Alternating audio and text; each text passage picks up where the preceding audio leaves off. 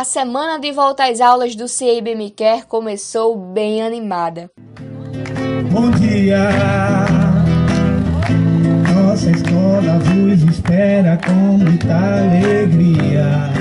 Cada mini estudante que chegava tinha direito a foto, medição de temperatura, álcool em gel na entrada do CIEI e ainda muito carinho entre os professores. No CIEI BMQ estão matriculados 217 alunos, mas a cada semana uma turma volta às aulas.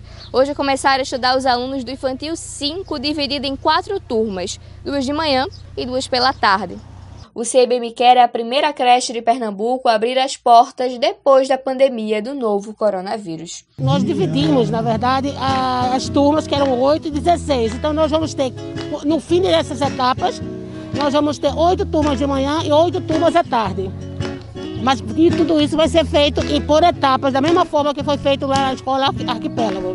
Então, todos os nossos profissionais, eles receberam orientações e têm certificação pela UNIT, né, da questão de biossegurança, sobre essa questão da pandemia. Então a gente tentou se esforçar durante esses sete meses com capacitações, com formações, para que a gente pudesse melhor atender a todos. E depois de sete meses em casa, dava um aperto no coração deixar os filhos de volta à rotina. Então a sensação é muito de apreensão, né?